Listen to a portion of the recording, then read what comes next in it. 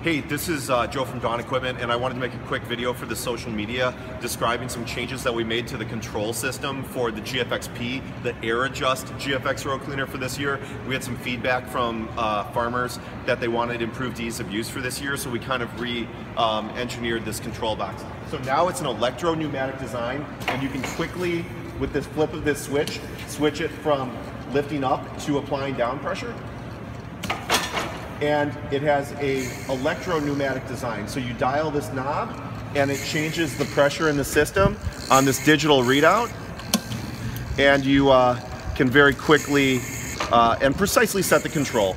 So it's easy, you can quickly retract it out of the way and um, you know, it's just a simple, more accurate way to do the air adjust. Now keep in mind, this is only one row unit. If you have a whole planter, it's not gonna be as fast as you have on one row unit, but this is a, a real improvement and a very simple to operate um, digital electro-pneumatic system.